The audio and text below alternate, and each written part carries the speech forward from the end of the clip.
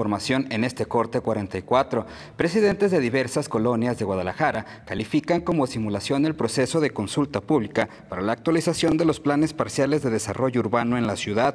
En el patio del Ayuntamiento de Guadalajara, decenas de ciudadanos manifestaron su rechazo a los planes parciales al considerar que con su actualización solo se prioriza el desarrollo inmobiliario y no el cuidado ambiental, como detalla el presidente de Jardines del Contro y Segunda Sección, Alejandro Pizano Martínez. Aquí lo escuchamos. Sí, están dirigidos a que se a los desarrolladores, están dirigidos a las personas que están explotando el, el desarrollo inmobiliario a base de la calidad de vida de los ciudadanos. De acuerdo. ¿Y cuál es su petición, señor, que exigen? Que se revisen realmente y de acuerdo con la ciudadanía, antes de hacer las propuestas que son absurdas, las que se están proponiendo, que se haga una real consulta.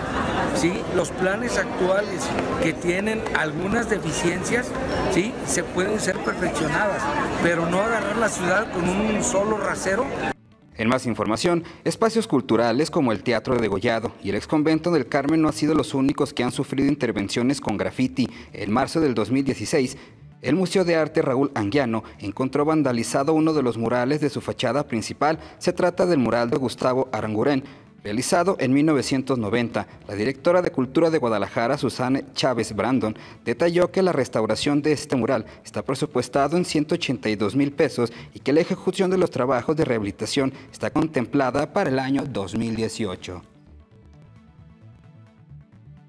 Yo le agradezco por su atención. En una hora, quédese con la tercera emisión de Señal Informativa y Carlos Martínez Macías.